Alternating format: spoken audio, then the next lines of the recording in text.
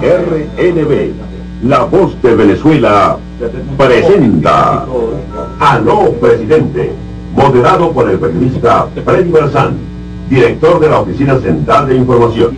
Por primera vez en Venezuela, un presidente de la República conduce su propio programa de opinión y participación popular con el único interés de escuchar el clamor del pueblo. Bienvenido a Radio Nacional de Venezuela y a todas las emisoras del país que en estos momentos se unen a esta señal, presidente Chávez. Buenos días. Buenos días, Juan buenos días a todo el equipo que hemos estado conformando para llevar la voz, para llevar la verdad, para llevar Hace 10 años en los estudios de Radio Nacional de Venezuela comenzó uno de los programas más importantes de la historia del país, el Aló Presidente. Espacio acostumbrado de los días domingos, se ha convertido en la principal tribuna desde la cual el jefe de Estado recorre el país discutiendo la actualidad nacional y explicando pedagógicamente cada logro y cada reto de la revolución.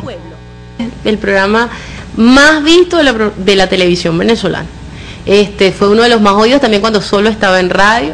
Es el que causa más críticas y más comentarios de todos los medios nacionales e internacionales. Es decir, el lunes eh, parte de la agenda mediática la marca el aló presidente. Tu vaso de aló presidente. Fidel Castro hablando del Che Guevara. Fidel Castro hablando del mundo, hablando de la revolución, hablando del pasado, del presente y del futuro.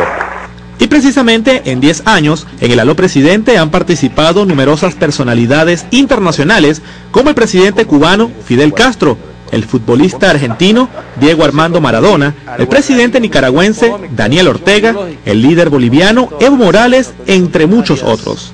Algo que ha despertado el interés no solo de los venezolanos, sino también de muchas personas en el mundo.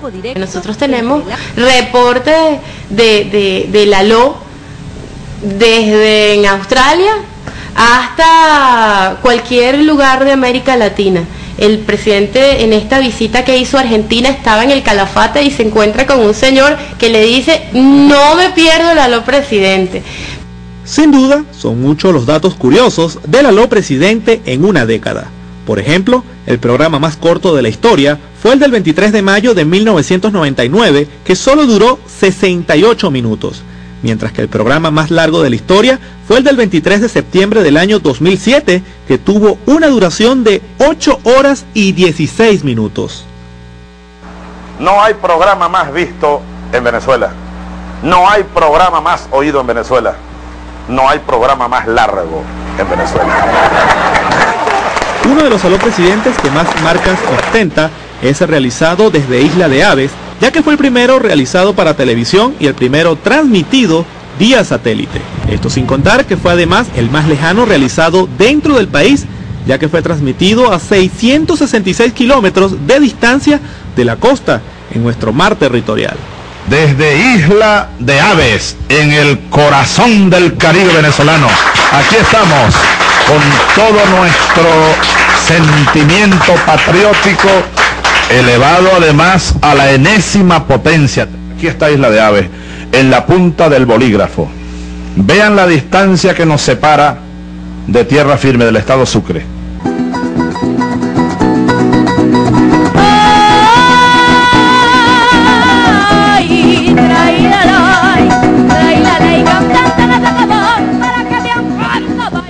Una de las constantes de todos los programas ha sido la exaltación de los valores nacionales, de nuestra música, cultura y modos de pensar. En suma, una reafirmación de la venezolanidad. También los artistas y deportistas han tenido su espacio y por qué no recordar la anécdota protagonizada por el Inca Valero.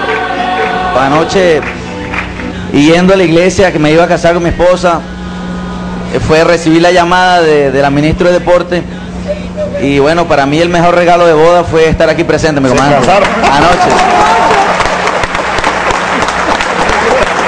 ¿Se casaron ayer? Anoche. Anoche. Bueno, felicidades para siempre. Gracias. Felicidades, felicidades. A lo presidente es un espacio dirigido por y para el pueblo. En este sentido salimos a la calle para conocer qué piensan sus televidentes. ¿Usted vela a lo presidente? Por supuesto, todos los domingos nunca me lo pelo. ¿Por qué lo ve? Bueno, porque habla el comandante y con sus sabias palabras y todas sus expresiones uno aprende día a día con él y me encanta. Lo admiro tanto. ¿En tu casa lo ven también tus familiares? Sí, toda mi familia. Tanto paterna como materna, todo lo vemos siempre. No, no lo esperamos. Buenas tardes, señor. ¿Cuál es su nombre? Héctor Blanco, Héctor, ¿usted ve a los presidente? con mucha frecuencia. ¿Por qué lo ve? Es la única manera de nosotros informarnos, informarnos con más realidad, con más claridad. ¿Por qué? Porque el presidente nos dice todo, nos cuenta todo, no nos oculta nada. No podemos terminar este reportaje sobre los 10 años del aló presidente sin hacer mención de los trabajadores anónimos que con su esfuerzo llevan todos los domingos el aló presidente a sus pantallas. Productores, periodistas, técnicos y obreros que unidos en un solo equipo saben y comprenden la importancia de la labor que realizan. Yo creo que el 90% de las políticas del gobierno son transmitidas a través del programa de los presidentes. Si uno este, eh, ve toda la historia de lo que es el programa de los presidentes, ve justamente cómo se han ido desarrollando las políticas de este gobierno. Y entonces estar allí, en este caso yo como coordinando, en este caso como trabajadora, eh, conocer muy de cerca cómo se desarrollan esas políticas es, es una experiencia extraordinaria. En 10 años de historia, el aló presidente se ha convertido sin duda alguna en la referencia informativa de la nación. Sin embargo, sus productores aseguran que habrán más innovaciones, una de ellas un mayor acercamiento al pueblo venezolano y también el aprovechamiento de los escenarios internacionales para proyectar los logros alcanzados tras 10 años de revolución bolivariana. Boris Castellano, la noticia.